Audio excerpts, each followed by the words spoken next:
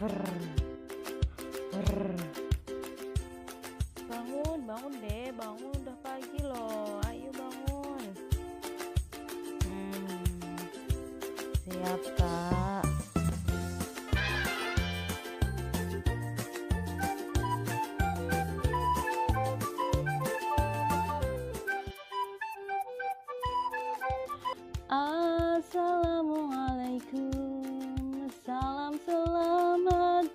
sejahtera Saling mendoakan di antara kita Jawablah, hmm, jawablah Waalaikumsalam Assalamualaikum warahmatullahi wabarakatuh Halo adik-adik semua yang bersemangat Bagaimana kabarnya hari ini?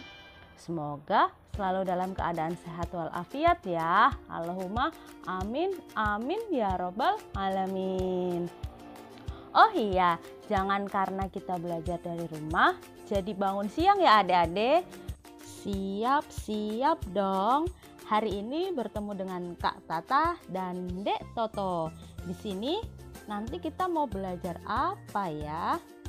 Nah, sebelum kita mulai belajar, alangkah baiknya kita berdoa terlebih dahulu.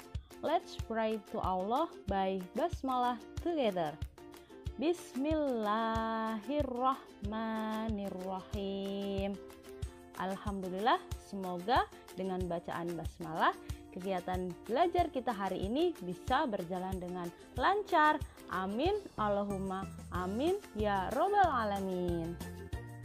Nah, adik-adik, hari ini kita akan belajar tentang Hmm, apa ya? Mari kita lihat KD-nya. Ini dia.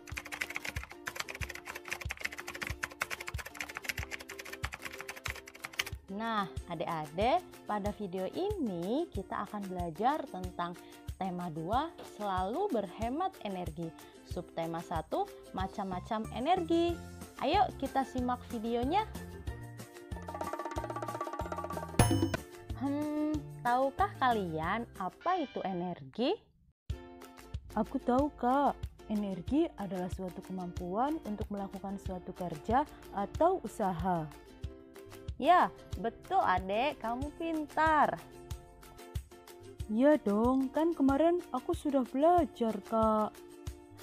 Apakah kalian tahu sumber energi utama dalam kehidupan sehari-hari? Ayo coba sebutkan. Hmm, itu kak, matahari yang bersinar setiap hari dan memancarkan cahayanya ke bumi. Yap, betul. Matahari atau sel surya adalah bintang di pusat tata surya. Dan matahari ini selalu memancarkan cahayanya ke bumi sehingga disebut sumber energi utama pada manusia karena matahari memiliki peran yang besar di bumi. Ya kak, itu matahari yang bersinar di sana. Sekarang aku dengerin kakak dulu ya. Oke, kita lanjut ya adik-adik. Apakah kalian tahu macam-macam energi di bumi? Hmm, tahu tidak ya? Yuk, coba sebutkan yang pertama, seperti sudah disebutkan tadi, ada energi matahari, energi angin, energi listrik, energi gerak, energi kimia, energi potensial, energi kinetik, energi panas, energi mekanik, energi cahaya, dan energi bunyi. Sebetulnya masih banyak lagi energi lain. Itu tadi merupakan macam-macam energi. Nah, apa saja sih perubahan energi yang ada di kehidupan sehari-hari itu?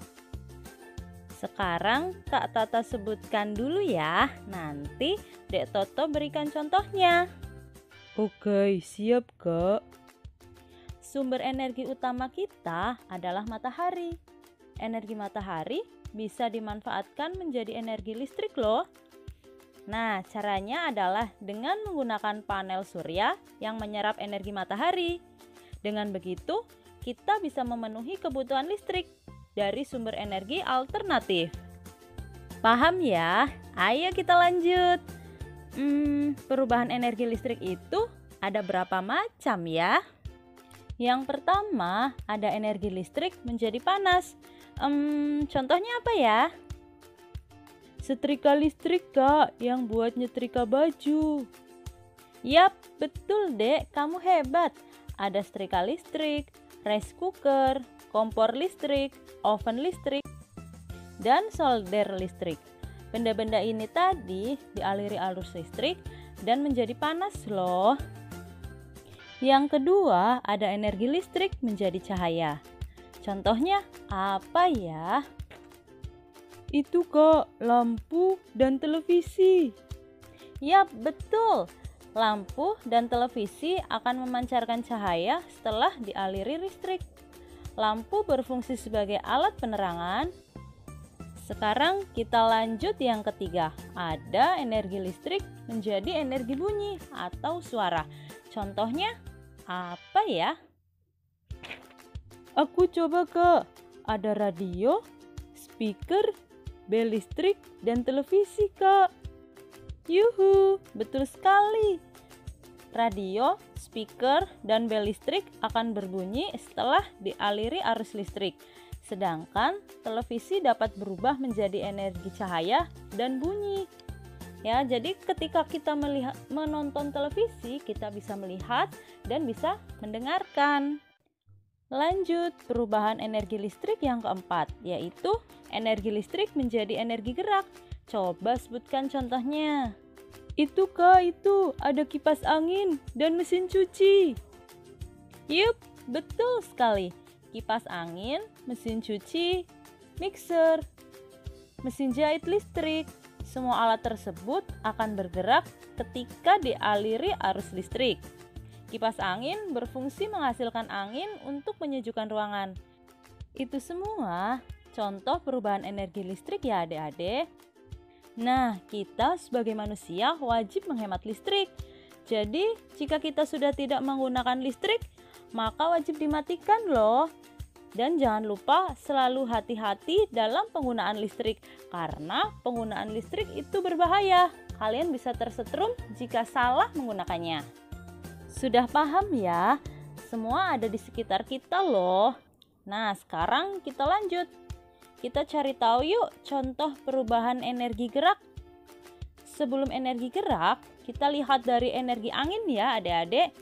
Energi angin bisa dimanfaatkan menjadi energi gerak.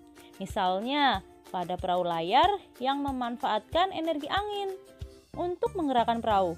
Selain itu, contoh perubahan energi angin menjadi energi gerak juga terlihat pada penggunaan kincir angin. Kincir akan berputar jika terkena angin. Pernahkah kalian melihat seperti itu? Hmm, pasti pernah ya. Kalian kan dulu pernah bermain kincir angin, ya kan? Oke, kita lanjut. Perubahan energi gerak menjadi energi panas. Contohnya apa, ayo? Duh, apa ya? Kakak aja deh yang kasih contohnya. Aku lupa. Oke, kalau gitu empat contoh perubahan energi gerak menjadi energi panas adalah yang pertama, ketika kita menggosokkan kedua telapak tangan akan membuat telapak tangan terasa panas. Coba sekalian praktekkan. Yang kedua, berjalan kaki yang jauh akan membuat telapak kaki terasa panas. Coba kalian bisa buktikan ketika kalian sedang berjalan-jalan. Yang ketiga, bermain perosotan akan membuat bagian belakang tubuh terasa panas. Kalian bisa coba ketika kalian main perosotan. Yang terakhir, gerakan ban sepeda dengan pedal rem sepeda saat mengerem akan membuat ban sepeda tersebut terasa panas. Nah, itu tadi contoh-contoh dari perubahan energi gerak ke energi panas. Selanjutnya, energi gerak menjadi energi bunyi. Contohnya, ketika kita menabuh gendang atau bertepuk tangan. Ya tidak, kalian kan bergerak nih, kemudian menghasilkan bunyi. Next, ada energi panas menjadi energi gerak energi cahaya menjadi energi panas. Contohnya, kaca pembesar yang diperlihatkan ke daun atau kertas di bawah terik matahari, lama-kelamaan kertas atau daun tersebut akan terbakar. Daun di sini daun kering ya adik-adik. Perubahan energi lain ada energi kimia menjadi energi panas dan gerak. Contohnya yaitu penggunaan kendaraan bermotor. Ketika kita mengisi bensin yang berasal dari energi kimia, maka akan terjadi perubahan energi panas dan energi gerak. Motor tersebut bisa bergerak dan mesinnya akan panas. Perubahan lain ada energi kimia menjadi energi cahaya. Contohnya, baterai diubah menjadi cahaya pada lampu senter. Ketika lampu senternya tidak ada baterainya, itu kan pasti mati. Ya tidak ada deh. Kita buat kincir seperti ini yuk. Coba kita lihat alat dan bahannya, apa saja yang diperlukan. Nah, nanti kalian coba di rumah masing-masing ya. Bagaimana adik-adik? Mudah bukan? Jadi banyak sekali sumber energi yang ada di bumi. Sekarang adik-adik perhatikan energi-energi yang ada di sekeliling kamu ya, di sekitar rumah kamu. Oke kak, aku sudah paham nih. Makasih ya kak untuk belajar hari ini. Siap adek. Nah, semoga pembelajaran dalam video ini bermanfaat untuk kita semua. Amin. Ya Robbal Alamin. Oke, okay, sebelum kita tutup pembelajaran hari ini, let's pray to Allah by hamdalah together. Alhamdulillahirabbil alamin. Finish. Baik adik-adik, sampai jumpa pada pembelajaran berikutnya. Pada video berikutnya, kita akhiri pembelajaran hari ini ya. Wassalamualaikum warahmatullahi wabarakatuh.